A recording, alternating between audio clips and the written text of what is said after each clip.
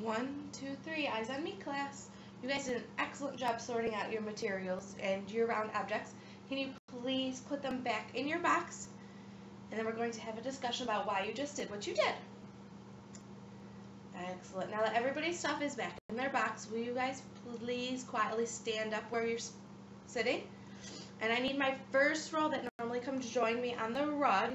When you guys come over here, please sit on the rug crisscross applesauce like we always do on your reading spot.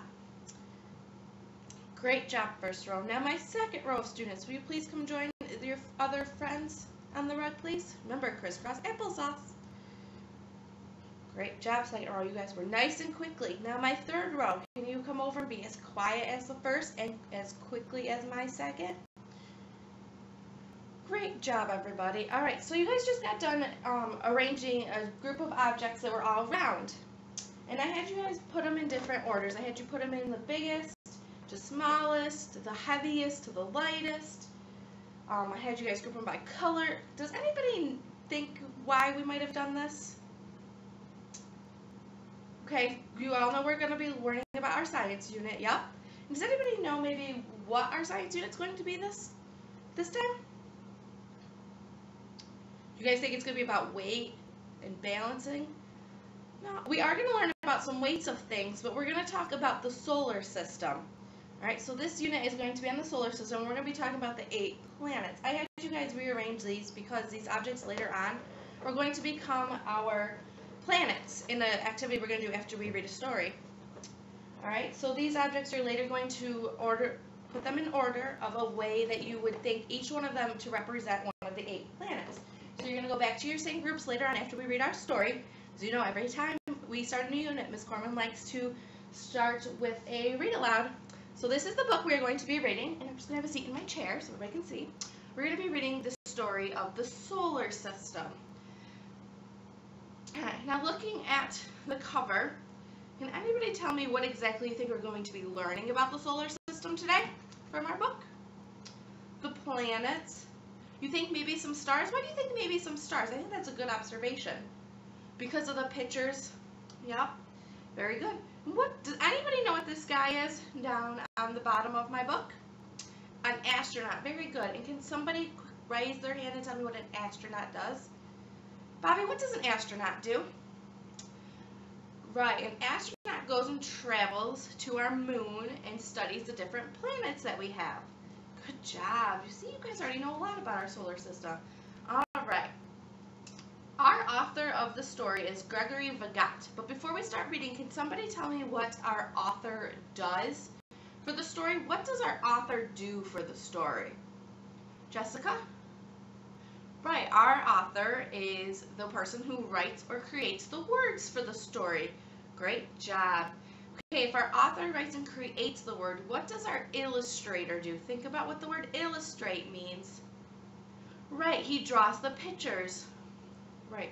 Well, for this story, we have a very special story today. Our book actually does not have an illustrator because all the pictures in our story are photographs. They were taken through telescopes and from different various um, cameras that as our astronauts or our astronomers study the moon.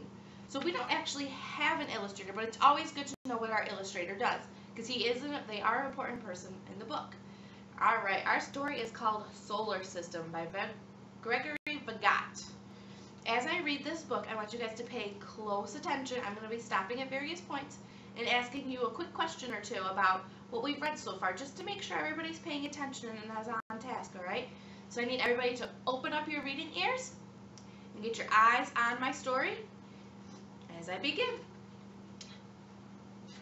Solar System by Gregory Vagat. We live on a planet called Earth. Earth belongs to a very large family of eight planets and more than 150 moons. The entire family is known as the solar system. All right, our first question, how many planets and moons are in the solar system? Who can tell me first how many planets there are? Ashley? Right, there are eight planets in our solar system. How about moons? This one could be tricky. It's an awfully big number. How many moons? David? Great job, 150.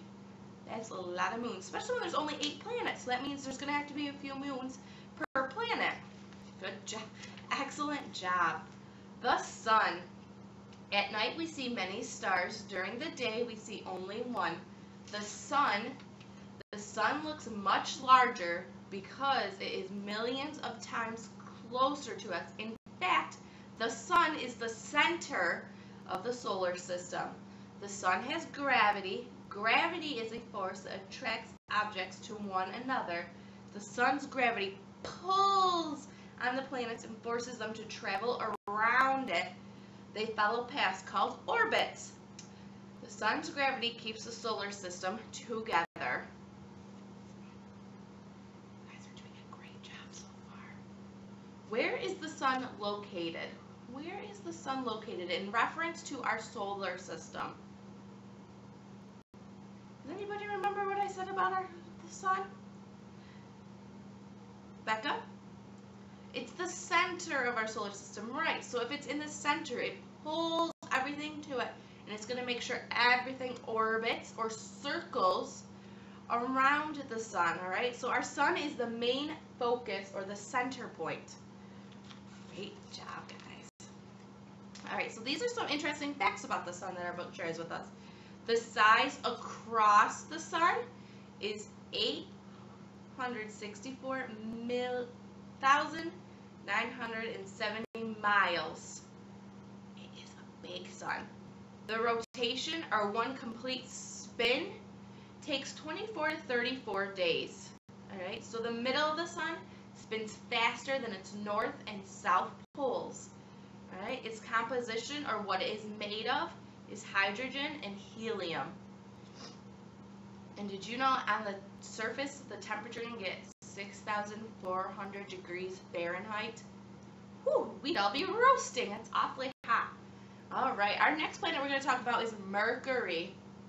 Mercury is the closest planet to the sun. The side of Mercury faces the sun gets twice as hot as a kitchen oven, 800 degrees Fahrenheit. Mercury is a rocky planet. There are thousands of bowl-shaped holes called craters on its surface. These craters were made when meteors smashed into Mercury. I'm just going to change it the page back so you guys can see what Mercury looks like. This right here is Mercury. See it's kind of like a grayish color and you can see all like the boulders and stuff in it or the craters. Alright, so our interesting facts about Mercury. The size across is 3,031 miles. So is Mercury smaller or bigger than the Sun? Right, it's a lot smaller. Mercury is only 3,000 miles. The distance from the Sun is 35,340,000 miles. So it's very far away, but it's the closest planet. So I can only imagine what those numbers are going to be later on when I have to read them. An orbit length, or once around the sun, is 87.97 days. That's how long it takes Mercury to go around the sun. A rotation is 58.64 days. Mercury has zero moons, and it doesn't have any rings around it. We're going to learn about our rings later on when we talk about some of our other planets. Rings are these circular things that follow our planets. All right. Our next uh, planet is Venus. Venus is the second planet from the Sun. It is nearly as large as Earth. Venus is covered with thick clouds. The Sun's heat passes through these clouds and gets trapped at the surface. The trapped heat makes Venus the hottest planet. This is what Venus looks like. It's kind of like a yellowish red, kind of like our Sun because it gets so hot. Remember our hot color is red. Boys and girls, thank you for doing such a good job listening. Alright, here's something else about some Venus.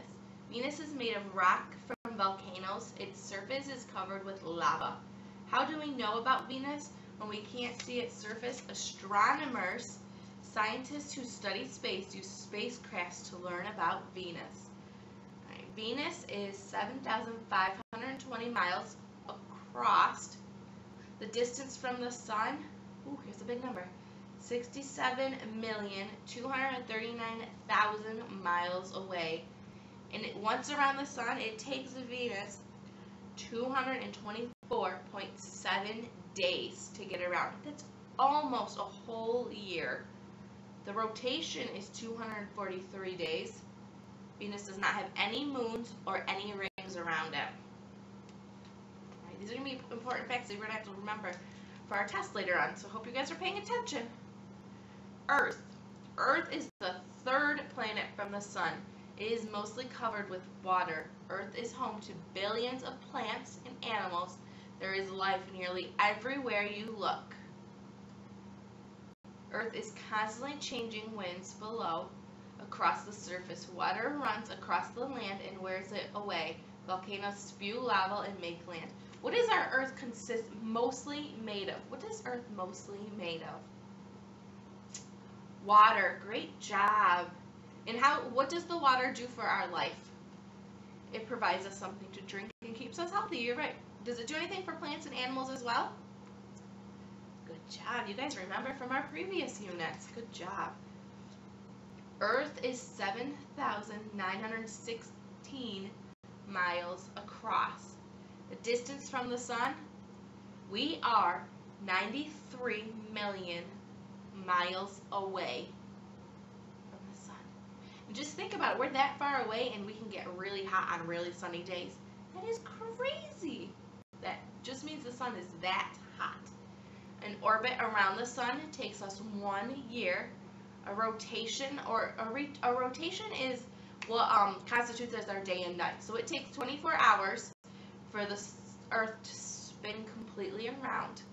All right, we have one moon and we don't have any rings. All right, we're to learn about Earth's moon. The moon is made of rocks from volcanoes. Sunlight bouncing off its surface makes it look white. So this is a picture of our moon right here. See how he looks white and it's got some blackish grayish color to it. In 1969, the first humans landed on the moon. These astronauts returned with moon rocks. Then astronomers studied the rocks to learn about the moon.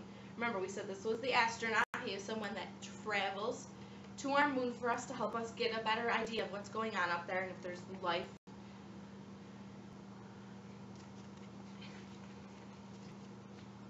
Astronomers think the moon was created during a collision. An object the size of Mars collided with Earth. Most of the object combined with Earth to make it bigger, but a chunk flew off. This became the moon. And this little cart right here is what the astronauts use when they're on the moon to go and study different places so they don't have to walk across the moon because remember gravity is awfully difficult there. So they use a space cart or this little machine right here. So we're going to talk about our fourth planet from the sun. The fourth planet is Mars. It's reddish. Its surface is covered with rust-colored rocks and dust. So this is what Mars looks like. He's got reddish colored dust that creates the color of our planet Mars.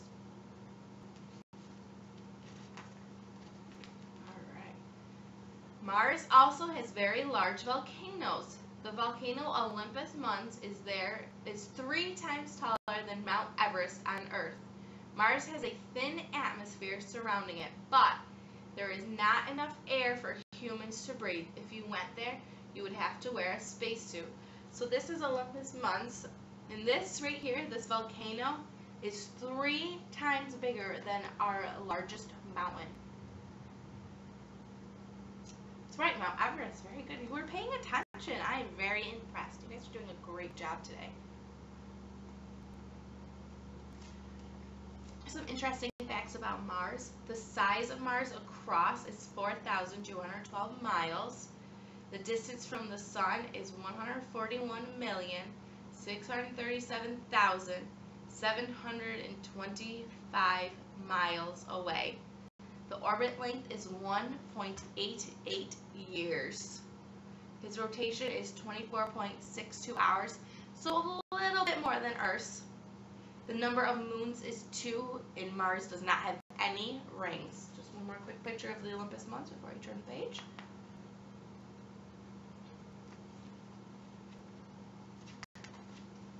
Jupiter. Jupiter is the fifth planet from the Sun. It is the largest planet and is nearly 11 times wider than Earth. It is made of gas. Jupiter has a huge storm that swirls like a hurricane. The storm itself is twice the size of Earth. Astronomers have named it the Great Red Spot. So this is what Jupiter looks like. And right here in the very tiny corner, you guys can see what the rate the red spot looks like and that looks like a hurricane because of its swirly pattern. You guys everybody see that? The swirly pattern of the great red spot?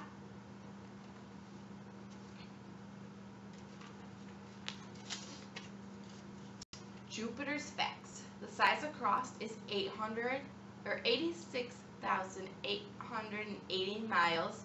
The distance from the sun 483 million 638,564 miles away. The orbit length, or the time around the sun, is 11.86 years. His rotation is 9.92 hours. It, Jupiter has 50 moons and 3 rings. What does Jupiter have that none of our other planets so far have? What interesting fact have I said that Jupiter has that none of our other planets have had thus far. Does anyone remember? Ah, uh, yes, Jessica. What, do, what does Jupiter have? Rings. Excellent. And how many rings does did I say Jupiter had? Three. There is going to be another planet that we're going to talk about in a couple minutes that are going to have some rings. That planet is Saturn. Saturn is the sixth planet from the Sun. It has thousands of narrow rings circling it. The rings are made of rocks, ice, and dust. And this right here is a good picture of what the, a ring looks like. And this is Saturn. And it's nice rings.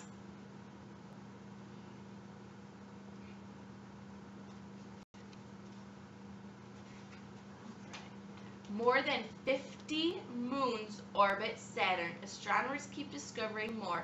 One moon, Titan, is wider than Mercury. So Saturn's one moon, which is named Titan, is wider than Mercury. That is crazy. Saturn's interesting facts. The size across is 72,363 miles. The distance from the sun, you guys ready for this number?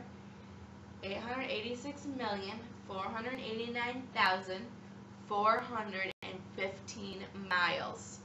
The orbit length around the sun is 29.44 years.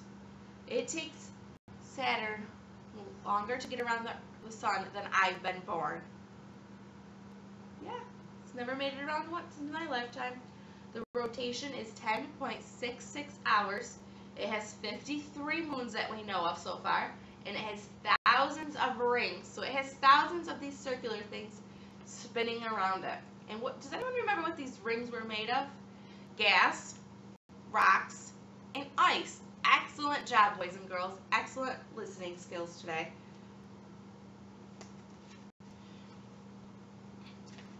All right. Uranus is the seventh planet from the sun. Uranus is four times larger than Earth. Chemicals in the air make that planet look blue. This is one of my favorite planets. I just love the color of it. and the chemicals in the in the planet make it that color. Alright, let's see. Uranus is a sideways planet. It spins like all planets, but it is tilted on its side. For half of its orbit, Uranus's north pole points toward the sun. For the other half, the south pole points towards the sun. Alright, so what that means when it says it's a sideways planet, we're going to pretend these are our north and south poles of our planets, alright? So our north pole is up on top, and our south pole is on the bottom. Normally, a planet spins this way. It just spins constantly. But Uranus is different. It tilts on its side. So the North Pole faces the sun for half of the rotation, and then the other half of the rotation, when it spins, our South Pole hits it. Yeah, so it sits on its side instead of straight up and down. That's just something interesting about Uranus. Alright, let's go back to Uranus here. Alright. Uranus's interesting facts. The size of Cross is 31,518 miles. The distance from the Sun, 1 billion 868 million 39,489 miles. The orbit length is 84.01 years. A rotation is 17.24 hours. It has 27 moons and 13 rings. I wonder why we can't see the rings on these planets. I think that's a question we have to study later on in our unit. When you think about it, we couldn't see Jupiter's rings and we couldn't see Uranus's. I think that's an essential question that we'll look at later on when we're studying the planets individually. We're going to take a day and we're going to study each planet. Give you guys some more information on these planets. All right. Our final planet, or the eighth planet, is Neptune. Neptune is blue in color and about as large as Uranus. Neptune has storms like Jupiter's, but they are a lot smaller. So these little light blue spots are the storms like Jupiter's, but they're a lot smaller. They don't have it as big as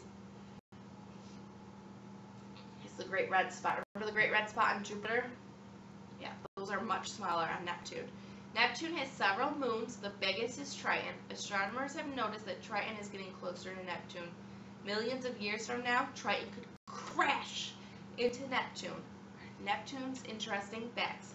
The size of Cross is 38,598 miles. The distance from the Sun, 2,819,185,846 miles. The orbit length is 164.8 years. A rotation is 16.11 hours. Neptune has 13 moons and 9 rings that circle it. So we can't see Neptune's rings either. Alright, I'm going to ask you guys a quick question. What do you notice about the distance from the sun and the orbit length? As our distance from the sun got bigger, what happened to the orbit length or the time around the sun? How they were directly related. You've got it. Excellent use of vocabulary from math. That's right. What he means is every time the distance from the sun got larger, the orbit or the time around that it took the planet to circle the sun got larger as well. So they were directly related. As one got bigger, the other got bigger. Excellent vocabulary words. I think you're going to earn a sticker for that one. That was great. We're not even talking about math and he still related it. Asteroids. Thousands of asteroids orbit the sun. These rocks can be hundreds of miles across or the size of a house. Many asteroids orbit the sun between Mars and Jupiter. What are asteroids made of? What did I just say asteroids are made of? Rocks. You've got it. And you can just tell by looking at the picture that that looks like a rock that you would find outside. It's all crater-like and bunched up. And it's oddly shaped. So that's an asteroid. And we're going to talk about some comets. Comets Far beyond Neptune are billions of chunks of ice called comets. Comets are usually a few miles wide. Sometimes a comet bumps bump toward the sun. The sun's heat starts melting the ice, and long white tails of gas streaks out for millions of miles. Many of you, they look like a shooting star. Many of you, I'm sure, have tried looking up on a nice sun starless night and seeing shooting stars. Alright, so these are some of our vocabulary words. I'm just going to read them to you guys right now. Tomorrow, we're going to put all these vocabulary words plus our planets into our writer's notebook, our social science notebook, first thing tomorrow for our lesson. Our first vocabulary word is going to be asteroids. Remember, asteroids are large pieces of space rock. An astronomer is a scientist who studies objects in outer space. An astronaut What's an astronaut? Can someone remind me what an astronaut is or give me the definition? What is an astronaut? Ashley? Someone who visits the the planets, travels to outer space. Excellent job. The atmosphere is the mixture of gases that surrounds a planet. Comets are large balls of ice that form long tails when they are near the sun. So remember, our comets are balls of ice. Gravity, the force that attracts all objects to one atmosphere. Remember, it pulls them towards the sun. Meteors are pieces of rock or metal from space that fall to a planet. So what's a meteor? Meteors are rocks. Comets are ice. That's going to be the one way that you can dis distinguish those vocabulary words. The moons, balls of rock or ice that orbit the planet. So a moon is both rock and ice. Orbits the paths planets travel around the sun. A planet is a large ball of rock or gas that orbits the sun. The solar system, the family of sun, planets, moons, asteroids, and comets. So your solar system is just the family. It brings everything together. And stars are huge balls of hot gas. Alright, so we're going to talk about this quick. What is a comet? Large balls of ice. A meteor is rocks. Are moons, rocks, and ice. Great job. And stars, just big balls of gas. Like the Lion King, yes. Like the Lion King. Alright, boys and girls, you guys did an excellent job reading and listening to the story today. I am very impressed with how well your ears were open and your eyes remained on the story. Very good job. Alright, for our, we're activities now. We're going to do a total of three activities, okay? We're going to do one as a whole class, and that's going to be, we're going to be looking at our planet posters.